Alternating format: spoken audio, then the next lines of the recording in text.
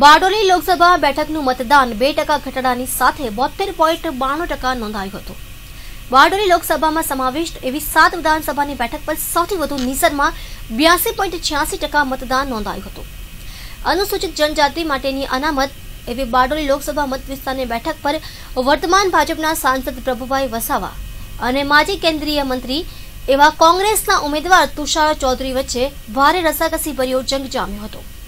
ઉનાળાની ગરમીની વચ્ચે મતદારો અભૂતપૂર્વ ઉત્સાહ દાખવી મતદાન કરતા લોકસભા બેઠકનું મતદાન બોતેર પોઈન્ટ બાણું ટકા નોંધાયું હતું.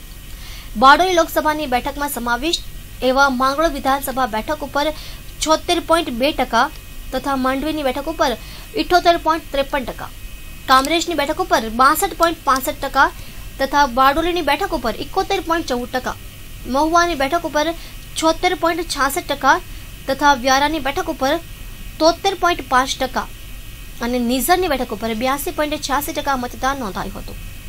વહેલી સવારથી જ બારડોલી લોકસભા મતવિસ્તારના મતદાન કેન્દ્રો ઉપર મતદારોએ મતદાન કરવા માટે કતારો લગાવી હતી, જોકે મતદાન બાદ ભાજપ અને કોંગ્રેસ દ્વારા જીતનો દાવો કરવામાં આવ્યો હતો. બારડોલી તેવી લોકસભા મત વિસ્તારના અમારા ઉમેદવાર શ્રી ડૉક્ટર તુષારભાઈ અમરસિંહ ચૌધરીના તરફેણમાં આજે કડોદરા નગરમાં પચાસ ટકાની ઉપર અત્યારે ત્રણ વાગ્યા સુધીમાં મતદાન થઈ ચૂક્યું છે.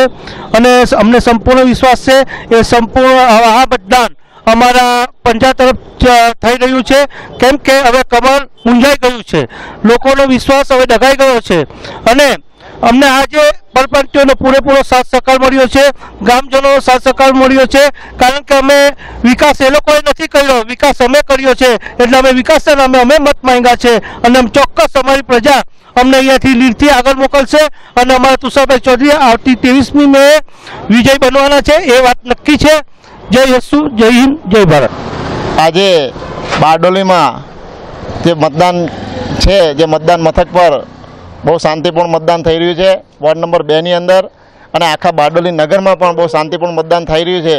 અને લોકોમાં જે ઉત્સાહ છે મતદાનનો, એ ઉત્સાહ હું મારી લાઈફમાં પહેલી વાર જોઉં છું. સ્વયંભૂ લોકો આવી રહ્યા છે અને અમે પણ જે ઉત્સાહની લાઈન લાગેલી છે, તે લાઈન આટલી મોટી લાઈન છે કે લોકોએ છેલ્લા આજે સવારે લગભગ સાત વાગ્યાથી એક્ઝેક્ટ જ્યારે મતદાન શરૂ થયું, ત્યારથી હમણાં સુધી લાઈનમાં લાઈનમાં લાગેલા છે અને લાઈન એક એક આટલી મોટી લાઈન છે, એક એક બૂથ ઉપર કે છેલ્લા વોટિંગ છેલ્લે માણસ સો સો, બસો બસો માણસની લાઈન લાઈન લાગેલી છે. તમામ લોકો બહુ ઉત્સાહથી વોટિંગ કરે છે અને આ દેશમાં આતંકવાદનો ખાત્મો કરવા માટે ભારતીય જનતા પાર્ટીને પક્ષમાં લોકો વોટ કરી રહ્યા છે અને મોદી સાહેબને જીતાડવા માટે લોકો પોતે પાછા વડા મોદી સાહેબને ફરીથી વડાપ્રધાન બનાવવા માટે લોકો બહુ ઉત્સાહથી વોટિંગ કરે છે અને ભારતીય જનતા પાર્ટી સો ટકા વિજય થશે એવી હું વિશ્વાસ અને ખાતરી છે. અને અમારી બારડોલી નગર, બારડોલી લોકસભામાં પ્રભુભાઈનો બહુ ભવ્ય મતેથી વિજય થશે. આ વોટિંગ જોતા અને અમને પોતાને સંપૂર્ણ વિશ્વાસ છે અને ખાતરી છે. અને અહીંયા ખૂબ ઉત્સાહ દેખાય છે મતદાન માટેનો. ખૂબ ધસારો છે. લોકોએ મતદાન કરવું જોઈએ એવું આપણે બી કહીએ છીએ. અને મતદાન કરવું જોઈએ અને આપણા નરેન્દ્ર મોદી સાહેબ જીતે તેના માટેનું આપણે એમને શુભેચ્છા પાઠવીએ છીએ.